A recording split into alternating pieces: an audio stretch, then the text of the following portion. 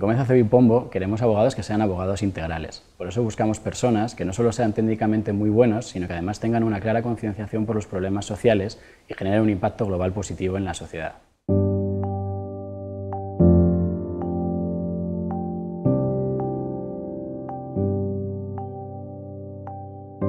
En la actualidad, que una empresa recicle no tiene mérito. Lo importante es reducir la producción de los residuos, ya que el mejor residuo es aquel que no se genera.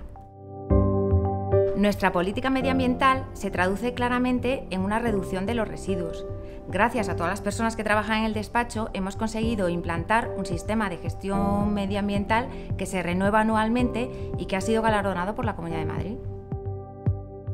Las políticas de responsabilidad social corporativa del despacho se canalizan a través de programas de integración social, de igualdad, conciliación familiar facilidad para acceder al teletrabajo. Cada día tenemos más medios que nos facilitan trabajar desde fuera de la oficina cuando surgen circunstancias que nos impiden venir al despacho.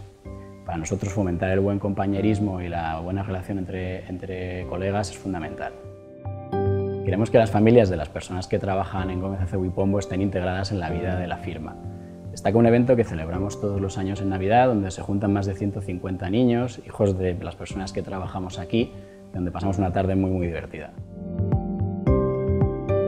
Incluso cuando ya has abandonado el despacho, queremos que la gente siga vinculada con nosotros a través del programa Alumni, que tiene un gran éxito y que nos permite estar en contacto con antiguos compañeros y mantener esos lazos y esas amistades que se generaron durante su estancia aquí.